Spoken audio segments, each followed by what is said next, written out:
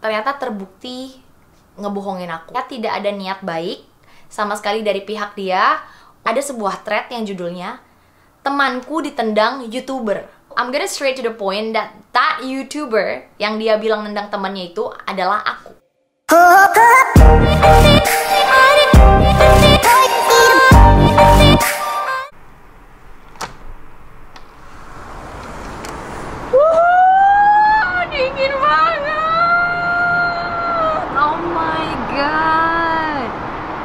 Berapa derajat pagi ini? Dingin banget, guys. Sedingin itu. Anyway, anyway, anyway, anyway, anyway, anyway, anyway. Good morning from Melbourne. Jadi kali ini aku udah di Melbourne aja. Seminggu kemarin udah di Sydney, terus kita langsung lanjut ke Melbourne. Jadi video kedua di tahun 2020 di channel Natya Shina kali ini dari Melbourne.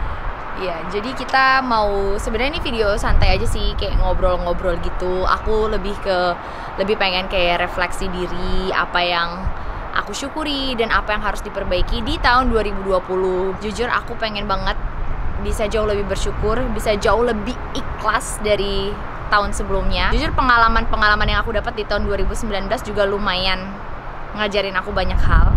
Nggak cuma senang doang guys, sedihnya juga ada, susahnya ada.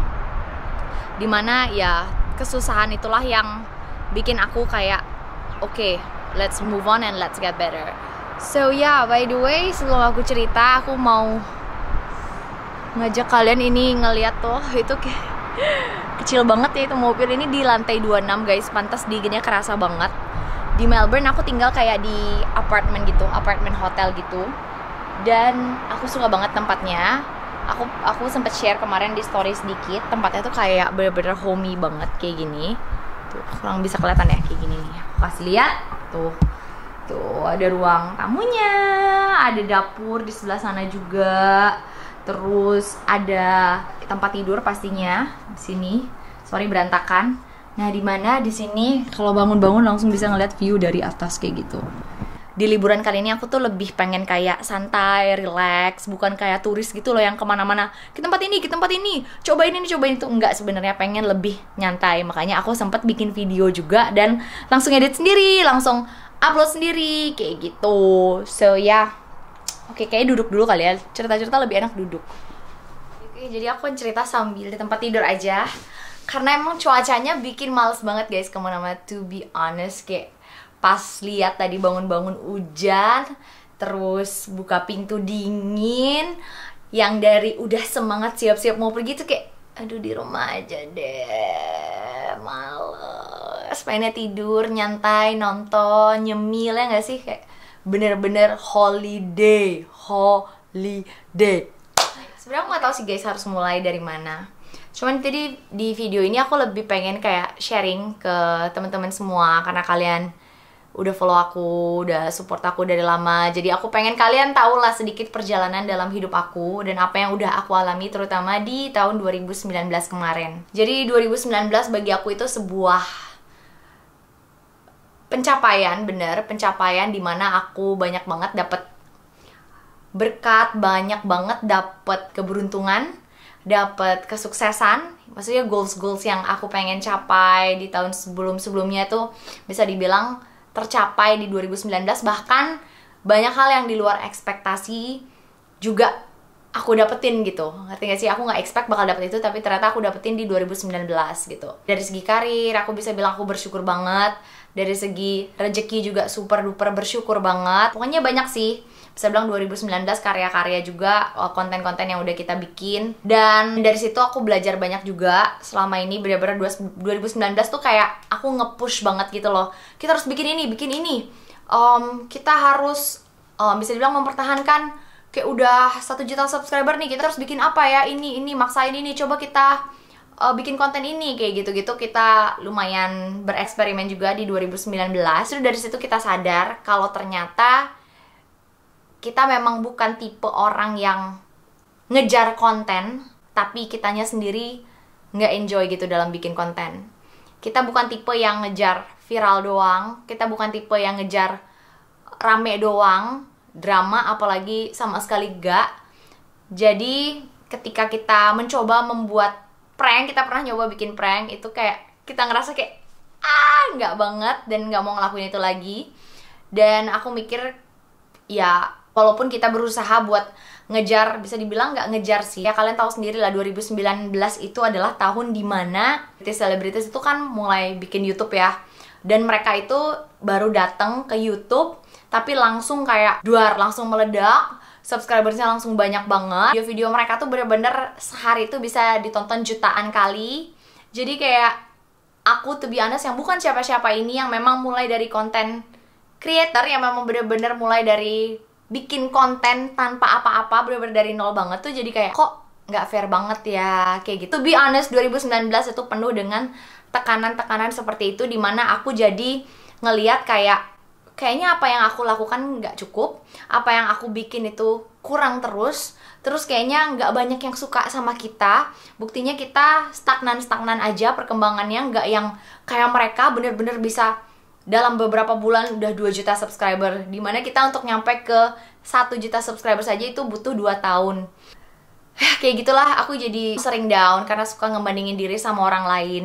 Terutama yaitu kalau misalnya contohnya dari segi YouTube itu ya tadi sama selebritis-selebritis yang punya YouTube yang dengan gampangnya mencapai angka tertentu atau dengan youtuber-youtuber mungkin yang udah gede banget yang setiap hari ngupdate pencapaian mereka, penambahan subscribers mereka berapa, kayak gitu itu bener-bener bikin stres tanpa disadari guys. Aku nggak mau stres, aku nggak mau terpengaruh, tapi tanpa disadari itu masuk ke alam bawah sadar kita dan kita jadi inget itu gitu. Kita secara nggak langsung jadi terpacu sendiri gitu loh kayak, oh mereka udah segini, oke kita gimana? Loh kok kita kayak gini? Kok kita nggak kayak mereka kayak gitu? Secara nggak langsung kita jadi membandingkan diri kita ke mereka. Padahal, padahal kalau misalnya kita pikirin lagi, tarik nafas dulu, pikirin lagi, ya setiap orang itu beda setiap konten creator itu beda, setiap youtuber itu beda, kontennya beda, dan cara mereka untuk membuat sebuah karya itu juga beda, gitu. pencapaiannya beda, gitu. dan apresiasinya pun pasti beda. Subscribernya juga beda, jenis-jenisnya. Ada yang suka konten seperti itu, ada mungkin yang suka konten kayak kita gitu. Sebenarnya ya, tapi karena kita terlalu diekspos dengan kehidupan sosial media yang penuh dengan angka, angka, angka dan angka, aku jadi ngerasa kayak sempet berpikir untuk berhenti aja lah gitu. Apa yang aku lakuin kayaknya nggak terlalu signifikan. To be honest pernah ngerasa down seperti itu di 2019 kemarin kayak pertengahan gitu. Sempet seperti itu guys. Tapi seiring berjalannya waktu ya namanya momen down pasti ada momen naiknya kan. Untungnya sih aku nggak yang terpuruk makin jatuh makin jatuh makin jatuh. Nggak. Tapi jatuh tapi bisa naik lagi. Dan di saat naik itu aku mikir kayak aku punya kelebihan sendiri gitu yang orang nggak punya gitu. Kita punya konten sendiri yang kita bisa banggain yang orang nggak punya. Di situ aku mulai bisa kayak ngeliat perbedaan terus kayak kelebihan-kelebihan lagi dan memutuskan untuk ya kita lanjut.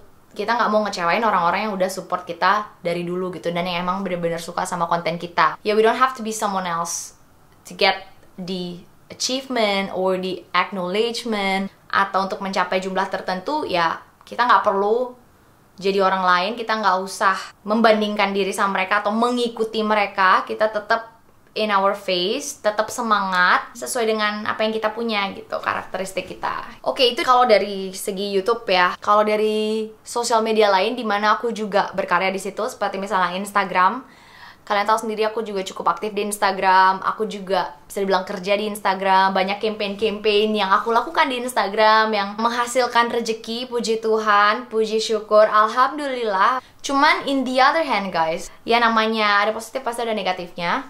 Aku ngerasa banyak toxic karena mungkin orang nge-expose kehidupan mereka setiap hari. Kita jadi terekspos juga sama kehidupan-kehidupan orang-orang yang sebenarnya kita nggak perlu tahu gitu in a daily basis kayak misalnya kita nggak perlu tahu kebiasaan orang bangun pagi ngapain, terus jalan-jalan ke mana, berapa uang yang mereka habisin buat belanja dan segala macemnya. Tapi kita jadi terekspos oleh itu di Instagram gitu kan. Ya sebenarnya positif negatif juga. Mungkin kalian butuh informasi, iya bener. Tapi kalau misalnya keseringan juga, kita jadi cenderung itu lagi balik lagi membandingkan gaya hidup mereka sama gaya hidup kita kayak gitu yang biasanya kita segini yang biasanya kita kalau misalnya liburan ke sini udah happy apa segala macam standar kita tiba-tiba naik gitu misalnya kita kita jadi pengen kayak orang-orang yang kita lihat di Instagram. Nah, untuk aku sendiri, aku di sini tuh kayak jadi meragukan gitu loh.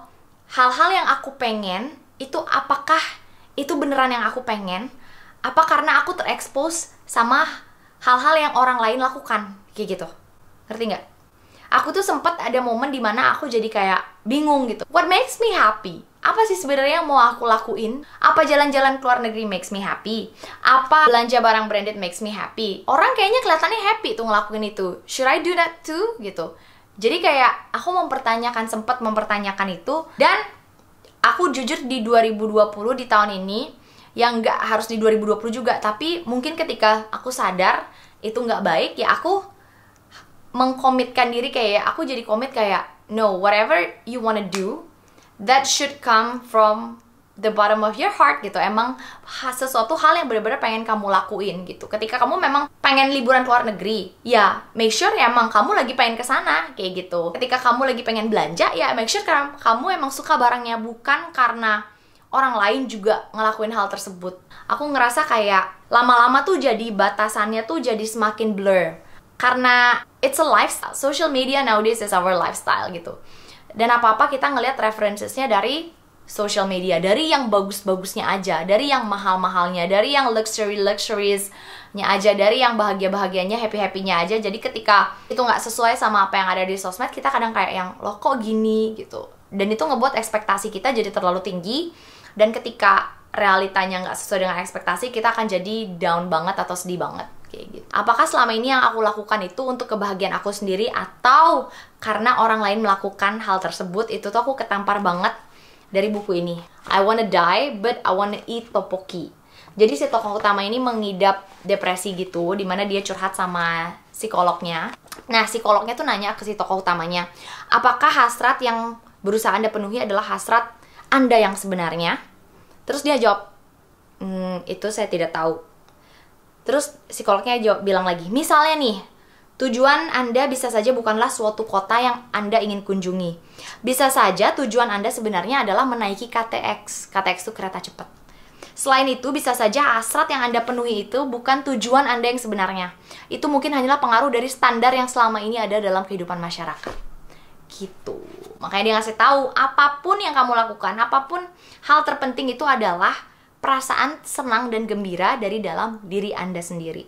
Tidak peduli apa yang orang lain pikirkan atau katakan. Saya harap Anda bisa memenuhi keinginan Anda sendiri dulu tanpa memikirkan apa yang dilihat oleh orang lain. Nah itu, social media is a world of judgment, is a place full of judgment. Ketika kita mau beli ini, ketika kita melakukan ini, kita ingin pamer secepatnya di social media, kita pengen orang lain tahu dan merubah pandangannya terhadap kita. Aku bilang itu adalah toxic dari dalam diri aku sendiri. Jadi aku tuh lama-lama kayak nggak bisa bedain mana hal-hal yang memang pengen aku lakuin dari dalam diri aku atau sebenarnya aku pengen ngelakuin hal itu karena ngerubah pandangan orang lain. Kayak gitu. Makanya sebenarnya ada kesenangan hampa gitu loh guys. Jadi ada kesenangan yang bener-bener bikin kita senang ada kesenangan yang hampa. Ketika kita udah ngelakuin itu kita juga kayak oh ya udah gini doang. Oh udah gitu. Bukan yang kayak bener-bener senang gitu. Nah aku tuh berhati-hati banget Semoga tahun 2020 ini aku bisa lebih bijak, lebih dewasa dan lebih mengerti diri aku sendiri sih sebenarnya apa yang bikin aku seneng, apa yang benar-benar pengen aku lakuin bukan karena standar yang ada di sosial media.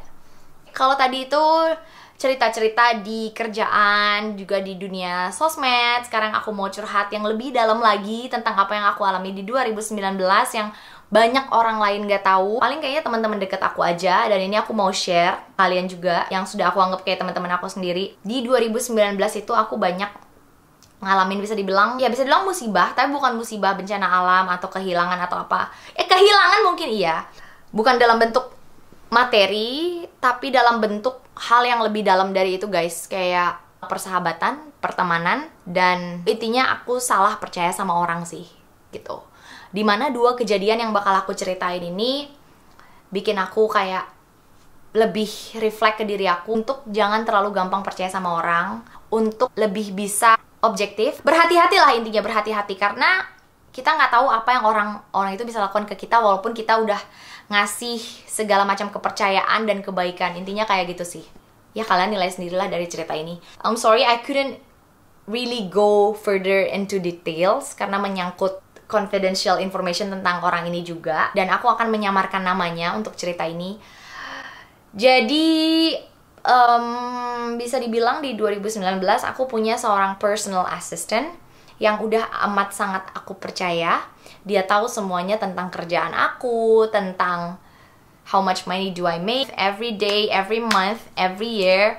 Terus dia bahkan tahu pin ATM aku dia tahu cerita aku gimana kalau misalnya aku berantem sama adik aku sama Randy sama semuanya pokoknya dia tahu banget dan aku udah nganggep dia tuh kayak sahabat aku sendiri. Bisa dibilang hampir setahunan kita deket sampai akhirnya aku nggak sebut nama ya sebut saja namanya Mawar. Sampai akhirnya si Mawar ini ternyata terbukti ngebohongin aku. Dar itu bener-bener yang ngebohongnya nggak sekali dua kali tapi itu sudah tersusun jadi sebuah rangkaian kebohongan yang sangat amat besar di mana aku cuman bisa kayak kayak it doesn't make sense man. Semuanya ya mungkin kalaupun ada yang bener tuh sedikit banget dan kita sekarang udah bener-bener nggak bisa bedain mana omongan yang dia bilang bener mana omongan yang ternyata itu part of dari kebohongan-kebohongan lain gitu yang harus ditutupi akibat udah berbohong pada awalnya kayak gitu jadi kalau misalnya banyak teman-teman yang nanya kak mawar ke mana? Kok nggak pernah kelihatan lagi sama kanat gitu. Sorry banget um, si kak mawar udah nggak kerja sama aku lagi. Mungkin kalau teman-teman yang ngikutin sosmed aku pasti tahu siapa orangnya. Tapi ya I'm not gonna spill it here. I'm not gonna spill the name here. Jadi intinya Kamawar itu udah gak kerja sama aku lagi guys. Bukan karena aku yang mencat dia bukan karena kebohongannya ketahuan juga enggak. Karena setelah kebohongannya ketahuan juga aku masih ngasih kesempatan dia kalau mau kembali kalau mau memperbaiki diri mau apa ya mau kayak intinya mau belajar lagi lah nggak apa-apa. Karena pada dasarnya yaitu aku udah percaya dan ngerasa oke okay, you deserve a second chance. Aku ngasih kesempatan gitu buat orang untuk siapa tahu mau memperbaiki diri. Tapi ternyata enggak. Dia memilih sebuah pekerjaan lain yang bener-bener di luar dugaan yang bener-bener bikin aku kayak oke okay, aku jujur sedih banget karena di antara ribuan macam pekerjaan yang ada dia memilih pekerjaan tersebut gitu. Dan membohongi orang tuanya teman-teman dekatnya termasuk aku juga sama Randy. Ya yang paling sedih sih dia bohongin keluarganya itu sih di mana keluarganya itu sempat datang ke apartemen aku itu nangis-nangis orang tuanya nyariin dia. Itu wow ya intinya itulah ya dia berbohong sama orang tuanya sama teman-teman dekatnya banyak banget korbannya juga. Masalah duit iya masalah kepercayaan iya masalah banyak banget guys. Aku nggak bisa ceritain details. Intinya kalau misalnya kalian dengar ya dunia kan sempit ya. Kalau misalnya kalian dengar ada cerita kenapa si Mawar ini tidak ada lagi sama aku dan tidak kerja lagi sama aku itu bukan karena dari aku ataupun dari Randy, bukan dari kita, tapi dari kebohongan dan kesalahan dia sendiri. So ya kalau misalnya kalian dengar ada berita di luar mau make sure mau confirm boleh. Aku bikin video ini juga sebenarnya untuk mencegah kesimpang siuran berita yang ada gitu. Jadi awalnya aku sebenarnya nggak pengen cerita ini sama sekali, sama sekali aku disclaimer dulu, aku nggak bermaksud untuk menjelekkan siapa pun, untuk menjatuhkan siapa pun, buat apa? Nggak sama sekali. Tapi karena banyak banget cerita-cerita yang aku dengar di luar sana, di mana yang nyampe ke aku itu adalah cerita sebaliknya. Jadi si Mawar ini malah menjelek-jelekan aku sama Randy. Kenapa dia berhenti kerja bla bla bla itu bener-bener bukan hal yang terjadi sebenarnya. Di situ aku melihat tidak ada niat baik sama sekali dari pihak dia untuk menjelaskan kenapa dia harus fitnah-fitnah. Di sini sebenarnya pihak yang dirugikan tuh justru aku gitu loh guys, karena dia di luar ngejelek-jelekin aku demi nutupin kebohongannya dia gitu. Kebohongannya tuh banyak banget guys, nggak habis-habis. Jadi aku turut prihatin. Semoga dia jadi individu yang lebih baik lah dan di sini sebagai temen aku jujur sedih banget aku sedih banget sedih banget karena kita deket gitu aku banyak banget cerita tentang gimana perjalanan hidup aku aku berusaha buat ngasih semangat ngasih motivasi ke dia. Dan dia pun cerita memang pengen jadi orang yang lebih baik gitu makanya dia seneng banget bisa kerja bareng aku dan segala macamnya. Tapi ternyata itu bohong. Itu semua bohong. Aku sebagai temen itu ngerasa dibohongin banget. Dan aku nggak kayak jujur kehilangan sosok dia betul. Karena to be honest it was a fun relationship. Tapi ya itu guys udah nggak bisa diperbaiki karena kebohongan kebohongannya dia yang udah parah banget dan dia pun nggak ada niat untuk memperbaiki itu. 2019 itu aku cukup bisa dibilang ya aku kehilangan seorang sahabat yang adalah personal assistant aku sendiri yang sekarang di luar sana dia malah ngejelek-jelekin aku gitu. Jadi ya aku berusaha ikhlas semoga dia disadarin semoga ada jalan buat dia untuk jadi lebih baik karena apa yang dia lakukan sekarang di luar sana itu sama sekali nggak baik dan bertentangan sekali sama apa yang udah dia lakukan selama ini gitu. Dan semoga dia bisa berbakti dan banggain orang tuanya lah karena orang tuanya masih sehat masih ada gitu. Sedih banget. Jujur aku sedih banget ikut prihatin buat dia.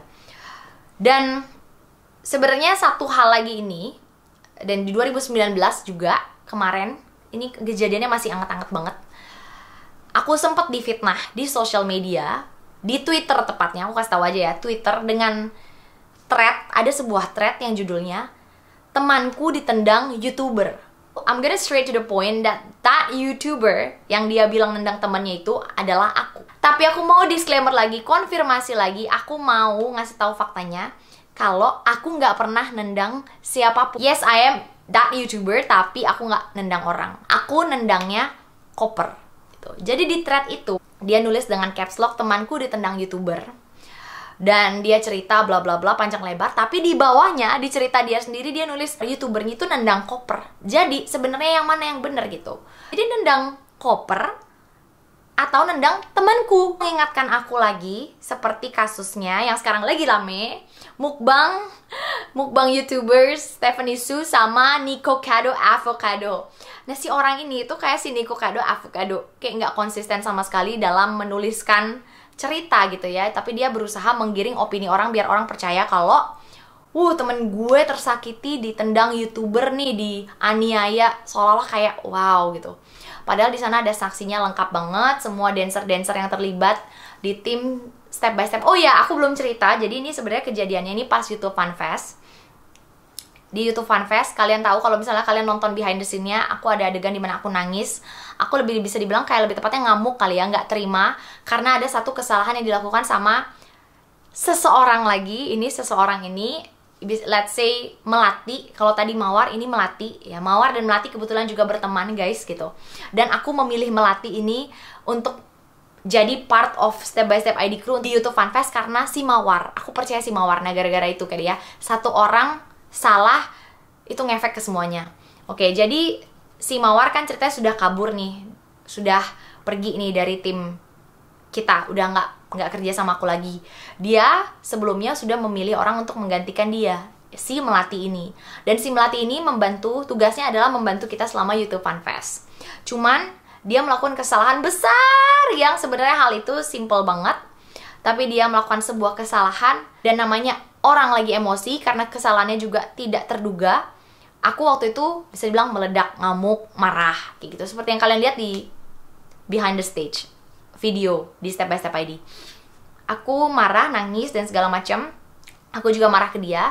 Dan ketika emosi aku bener-bener di ubun-ubun gitu aku tuh biasanya akan mukul tembok kayak pak gitu atau aku kan mendang sesuatu barang yang ada di dekat aku gitu. Dan pada saat itu yang ada yang aku lihat adalah koper aku.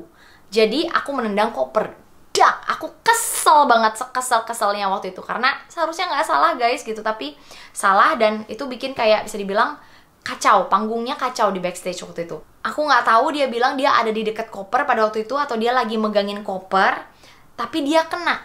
Dan seingat aku jujur aku nggak pernah lihat ada orang di situ. Dan kalaupun mungkin ada dia di situ, paling kena koper seberapa sih guys? Kayak dia lagi megangin terus aku tendang. Tendangnya bukan power aku seberapa sih cewek kecil mungil ini nendang koper bisa sekeras apa sih? Aku tendang tuh cuman kayak hmm, dek, gitu intinya kayak gitu. Pada malam itu juga harus kalian tahu kita semua udah maaf-maafan, kita semua udah pelukan dan aku pun minta maaf karena aku udah sangat amat emosi. Ini juga guys yang mau aku perbaiki, aku mau belajar untuk jadi orang yang less emosian, yang nggak cepet naik gitu amarahnya. Aku tuh sekarang akhirnya ini karena mungkin stres banget, bisa lagi banyak deadline atau kerjaan ini belum, itu belum, atau aku punya target sendiri yang cuman ada di otak aku dan aku nggak bisa ungkapin gitu itu aku jadi stres sendiri. Makanya ketika sesuatu terjadi tidak sesuai ekspektasi aku tuh biasanya langsung muncak gitu marahnya. Apalagi untuk stage sebesar YouTube Fan Fest di mana kita udah latihan dua bulan ti hampir tiap hari. Udah capek banget dan aku pengen itu seperfect mungkin. Ya nobody is perfect nothing is perfect tapi sebaik mungkin lah. Sebelumnya kita rehearsal dua kali berturut-turut itu aman. Tapi tiba-tiba pas hari H si orang ini tuh salah si melati itu salah gitu. Aku kesel banget. Aku ngeluarin gitu emosi yang ada di diri aku gitu. Daripada akunya meledak dar gitu kan. Aku keluarin dan yaitu aku ada koper aku lihat aku tendang. Dan malam itu juga aku ngerasa sangat amat bersalah karena udah bikin situasi tegang dan aku udah bikin anak-anak juga beberapa mungkin ada yang nangis sedih juga lihat aku. Pokoknya situasi jadi nggak happy ending gitu ngerti ngerti gak sih? Maksudnya yang harusnya kita wah gitu. Tapi kayak ada tangisan penyesalan karena beberapa kesalahan kayak gitu. Malam itu aku udah minta maaf aku udah minta maaf langsung ke si melati udah ngomong pelukan juga kita pelukan semua satu-satu aku pelukin udah minta maaf dan semua udah selesai. Apa yang terjadi malam itu selesai malam itu. Tetapi sayangnya ada pihak-pihak yang lagi-lagi berusaha memanfaatkan I don't know, mungkin aku nggak tahu tujuannya apa. Tiba-tiba sekitar dua minggu dari YouTube Fanfest ada sebuah thread di, di Twitter yang judulnya itu temanku ditendang youtuber. Jadi si Melati ini curhat ke temannya yang namanya Anggrek. Jadi dari tadi Mawar, Melati, ini Anggrek. Si Melati curhat sama temannya yang namanya Anggrek. Dan Anggrek ini nulis sebuah thread yang judulnya temanku ditendang youtuber dengan detail cerita yang isinya sayang sekali banyak banget yang salah. Dan kalau salah informasi berarti fitnah, betul? Betul. Tuh, itu banyak banget guys yang salah di situ. Dan aku kasih lihat juga ke anak-anak grup YouTube Fun Fest itu pada Hah, apa nih? Mereka pada marah juga karena mereka pada saat itu ada malam itu dan mereka ngeliat gimana aku nendangnya koper dan di mana semua masalah sudah diselesaikan secara baik-baik, nggak ada embel-embel apa-apa lagi dan semua sudah selesai. Tapi tiba-tiba ada thread itu dua minggu kemudian dengan detail-detail informasi yang salah. Isinya fitnah semua dan sayangnya si banyak netizen juga yang sangat amat gampang ditipu tanpa mengcross check informasi itu apakah benar tanpa menanyakan dari pihak satunya lagi. Jadi si Anggrek ini nulis semua thread dia, semua cerita itu berdasarkan informasi dari si Melati. Padahal si Melati itu juga banyak banget memutarbalikan fakta di mana yang aku sama tim aku tahu semua. Jadi banyak banget detail-detail yang nggak kayak gitu tapi ditulis kayak gitu. Tapi sayangnya netizen percaya dan itu sempat di retweet sama 600 orang di repost lagi sama 600 orang dan dibalas-balas. Pada percaya gitu padahal di thread juga udah dijelas-jelas ditulis youtuber ini nendang koper tapi gila nggak tuh nendang orang? Wes kayak gitu-gitu komennya waduh gitu ini mah namanya penganiayaan laporin aja Terus teman-teman anak-anak pada marah dong, teman-teman kita yang tahu faktanya, 30 orang lebih tahu faktanya kejadian di backstage gimana, pada ngebalesin thread itu dan ngasih tahu fakta sebenarnya. Dan si Anggrek ini, si Anggrek yang nulis thread ini mungkin karena takut, uh ternyata fakta gue salah nih, cerita yang gue dapet salah. Dia ngebenerin di kolom reply, di kolom komen dibenerin. Tapi tetap aja itu informasi udah salah semua di atas. Jadi kayak dan orang semua baca yang salah itu gitu. Pas aku baca juga, tulis aja kali nama aku Natia Shina. Aku juga nggak takut. Kenapa nggak takut? Karena itu fitnah. Aku punya buktinya rekaman di backstage gimana di mana aku sudah minta maaf. Karena di thread tersebut juga ditulis aku nggak minta maaf. Pokoknya detail-detail lain yang sebenarnya itu banyak banget saksinya. Jadi aku nggak takut sama sekali dan aku nggak takut kayak nama aku tercemar atau gimana sama sekali nggak. Cuman aku lagi-lagi kecewa ada pihak-pihak yang berusaha memfitnah dengan cara yang kayak oh come on gitu. Kayak kenapa? gitu. Ada orang yang berusaha kayak gini sama aku gitu. Berusaha menjatuhkan dengan bikin sebuah thread kayak gitu gitu. Tapi ya untungnya aku punya buktinya ada oh, buktinya berupa video dan berupa kru yang ada pada saat itu. Jadi ya aku sih nggak takut guys to be honest. Cuman aku lagi-lagi kecewa dan gara-gara aku percaya sama si mawar ini aku jadi memperkerjakan melati di mana melati itu ternyata orangnya juga bermasalah banyak banget drama. Faktanya adalah dia nggak pernah kerja sama orang. Dia super duper sensitif dia melo dia mungkin cerita ke anggrek dengan lebay berharap bahwa si anggrek ini membalaskan ketidakterimaan dia melalui sebuah thread di sosmed. Berharap itu viral dan nama aku jelek. Mungkin seperti itu aku nggak tahu. Tapi ternyata tidak seperti itu. Mereka takut karena pada saat Rani editor aku ngasih lihat buktinya mereka takut beberapa hari kemudian threadnya diturunkan. Jadi threadnya di delete aku nggak pernah nyuruh mereka delete threadnya tapi di delete sama mereka. Ya intinya banyak sih pelajaran kayak akan ada orang-orang seperti itu yang berusaha menjatuhkan kamu. Padahal to be honest aku mempekerjakan karena tahu juga si melati ini nggak punya pekerjaan. Aku percayain dia untuk sebuah tugas yang nggak susah sebenarnya. Tapi dengan bayaran yang menurut aku lumayan gitu aku pengen nolong orang tapi jadinya malah kayak gini gitu. Hah, jadi ya gitu sih guys. Kekecewaan aku di 2019 itu banyak terutama gara-gara orang-orang terdekat yang pernah jadi bagian dari tim aku sendiri dan itu bikin kayak ada aja kenapa ada? Aja kejadian kayak gini yang benar-benar di luar ekspektasi. Bukan cuma di luar ekspektasi tapi mengagetkan dan mengejutkan gitu. Karena datang dari orang-orang yang kita kira mensupport kita bagian dari tim kita tapi malah bisa menjatuhkan kita berusaha menjelek-jelekan kita kayak gitu. So ya yeah, semoga ini cukup menjawab kekepoan kalian juga beberapa yang nanyain asisten aku itu ke mana terus kemarin kenapa bisa ada ribut-ribut masalah thread dan segala macam apakah aku bener nendang orang? Ya kalian udah dengar sendiri semua ceritanya. Intinya 2020 ini nggak muluk-muluk sih aku pengen lebih happy aja lebih happy lebih baik lebih bisa jadi diri sendiri dan lebih bisa bebas dalam berkarya gitu. Intinya aku nggak mau maksa orang-orang buat stay sama aku people come and go. Aku percaya sama yang namanya frekuensi. Kalau frekuensinya sama, kita akan bisa dekat sama orang gitu, tanpa dipaksa, dengan sangat natural. Ketika frekuensinya beda, ya nggak bisa dipaksa ya. Mereka akan pergi, orang akan pergi gitu. Dan nggak selalu yang namanya orang pergi dari kehidupan kita itu efeknya buruk kok. Gitu. Justru mungkin bisa lebih baik. Dan aku belajar juga ditampar juga sama quotes ini yang menyadarkan aku pada hari itu jadi ini dari Fakology Official. Ini salah satu favorit account aku untuk quotes-quotes yang nyeleneh-nyeleneh tapi nampar dan bener gitu. Nih. Some of you walk into my life and made it better.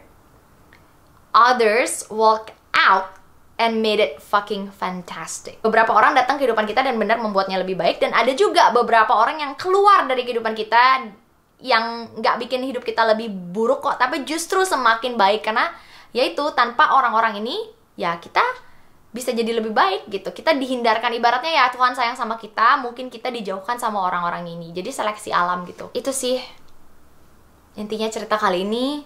Dan kayaknya di luar hujannya udah berhenti jadi aku mau keluar dulu buat jalan-jalan dan enjoy Melbourne. So yeah. thank you guys. Have a nice day